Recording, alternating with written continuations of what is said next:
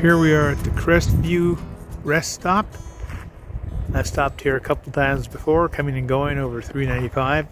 It's a very nice place to stop and rest. And it's got a new plaque here that wasn't here last time.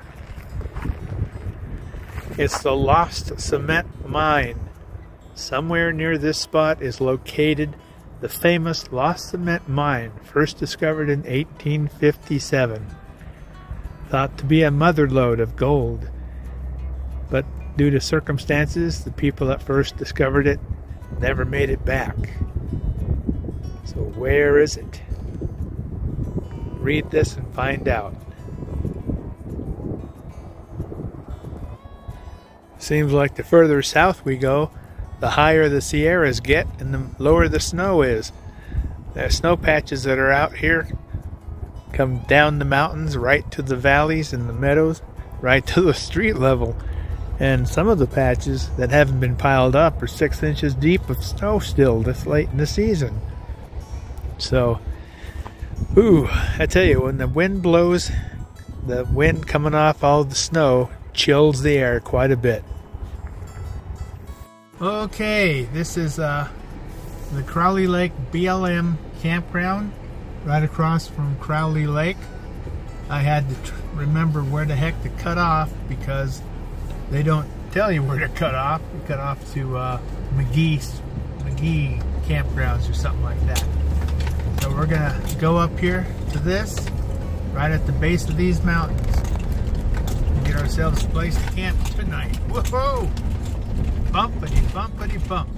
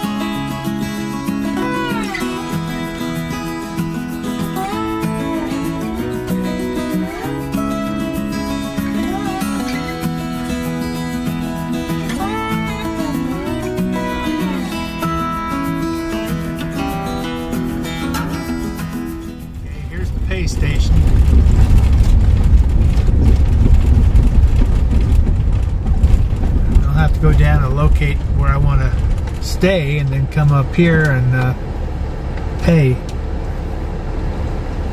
So,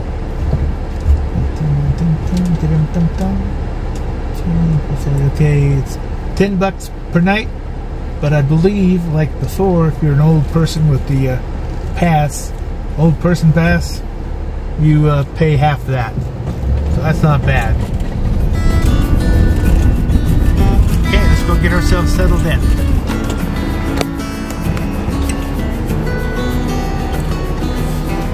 Here's uh, one of the nice toilets they have. Potable water available here and other locations throughout the campground here.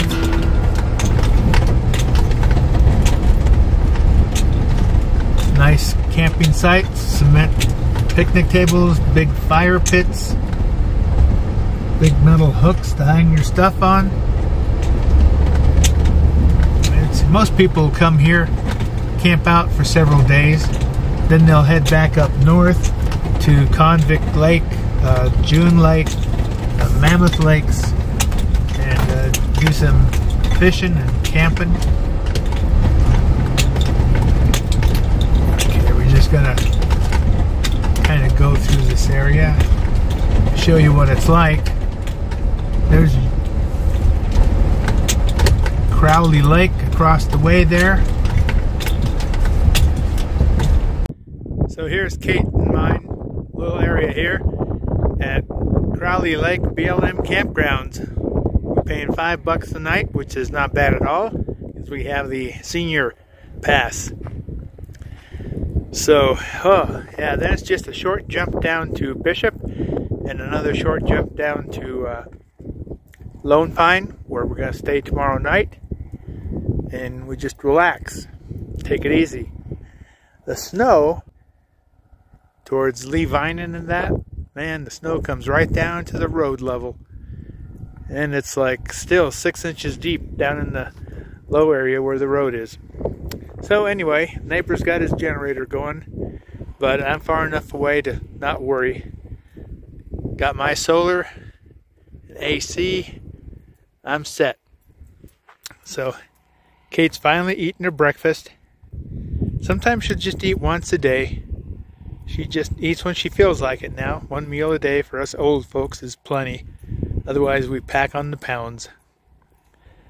So I gotta let her eat and water, put her back in, and then uh, walk up, pay, and get my tag to put on the uh, clip here. And then relax for the evening. Enjoy the view of Crowley Lake. Here's Kate just hanging out watching me, watching the surroundings. Hey, Kate, what you gonna do, huh? She's just kind of chilling out. You know, I got one beef with this uh, Freeline compression refrigerator freezer. Uh, as much as it costs for a compressor refrigerator, it works great, but isotherm gets penny cheap on the most important things, like this doodad, you know? And then I can just reach back here and open it up. And this latch here, that thing's worthless. So what I'm going to so what I'm going to do is there's a hole right here. I'm going to get a nail or something, figure out how deep a nail I need to stick in there line it up, drill a hole here with my drill, and put a peg in there. Because this thing's come flying open twice, and all my food and beverages have crashed out over the floor.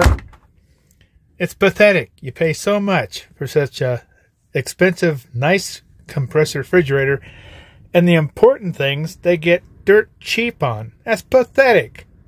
There's no such thing as craftsmanship where they build things to last instead of just crap out on you in a year or two. That's the modern world, and that's why I don't like it. Take me back to where craftsmanship made and meant something. Oh well, that's my rant for today.